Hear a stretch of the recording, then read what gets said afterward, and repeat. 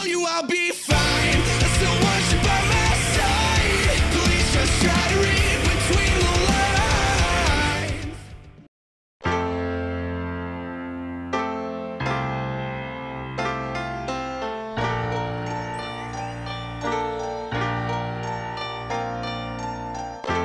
Started out in Brooklyn back in 96 When the Nets were still in Jersey but we loved the Knicks. I didn't grow up in a family that hugged and kissed But don't say they ain't love their kids. We ain't some Republicans And all I wanted was a pool in my backyard. They say we couldn't have fun, didn't have jobs. They say we couldn't pay rent, couldn't slack off Hey, what is up guys? MFK Clickz here and welcome back. So what I have for you guys today is a walk-in team pileup glitch here on the Giant. You need two people to do it, but once you guys are on the glitch, you're able to go pack a bunch of weapons, and then there's a weapon on the wall near both of you that you can actually buy in between rounds for ammo. Now to do this glitch, you do need to keep two doors closed.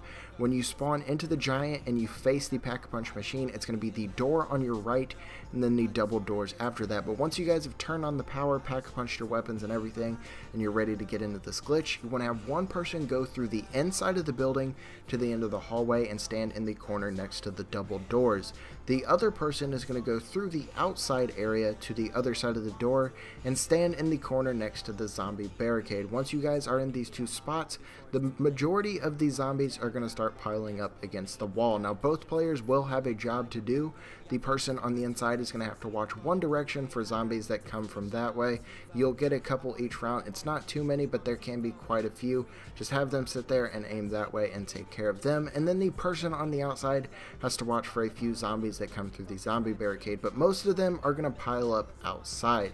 Now for the weapons on the wall, the person inside has access to the Kuda. You can run up to that, grab it in between rounds, and then the person on the outside has access to the L-car for ammo as well. Now this isn't the best glitch on the Giant, but it is one that is still working after the most recent patch, and it's super easy to do, so you guys don't really have to set up much to do it. But anyways, I really hope you guys enjoyed today's video.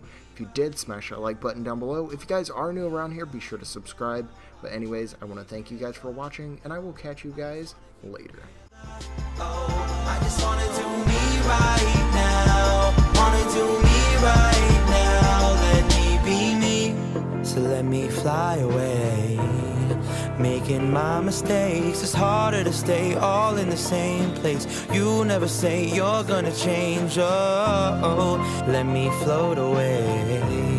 Let go of all my weight. Cause all my mistakes don't have to stay. I'm doing all that I can, don't let it fade. I don't wanna be get to heaven, oh. I just wanna do